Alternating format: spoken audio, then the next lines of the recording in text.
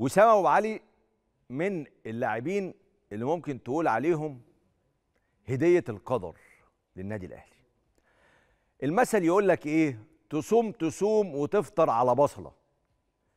الأهلي صام صام وفطر على استاكوزا على مانجا آه على نوتيلا آه على حاجات حلوة قوي صام صام الأهلي وفطر أحلى فطار في الدنيا.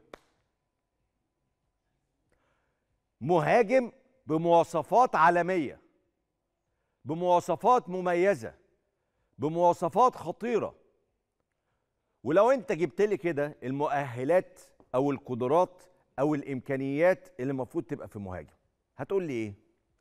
هتقول لي والله أنا عايز مهاجم بيتحرك كويس.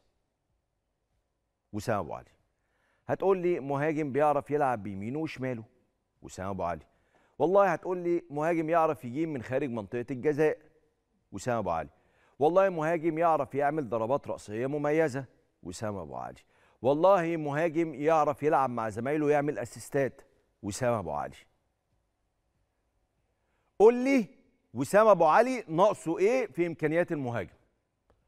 مدهش. على فكرة في مصر هنا في الدوري المصري في مهاجمين كتير مميزين. بس كل واحد فيهم عنده ميزة ميزتين بيشتغل بيهم. وسام أبو علي تقريبا عنده كل المميزات وبدرجات عالية جدا. مدهش.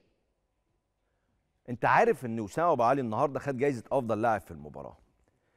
دي المرة السادسة اللي ياخد فيها وسام أبو علي جائزة أفضل لاعب في المباراة. يعني خمسة الموسم اللي فات ودي واحدة أهو في بداية الموسم للأهلي. ست. اتقال إن وسام أبو علي ممكن كان يبقى مهاجم الموسم الواحد أو نص موسم واحد عشان هو لعب نص الموسم اللي فات بس. وكان هداف الدوري. بادئ بداية وانطلاقة مش طبيعية. هدفين وأسيست رائع جدا الأسيست اللي عمله لطاهر تصريحات وسام أبو علي بعد المباراة قال لك أنا كنت ناوي أدي الكرة لحسين الشحات لقيت اتقفل عليه خد بالك الحضور الذهني عند وسام أبو علي.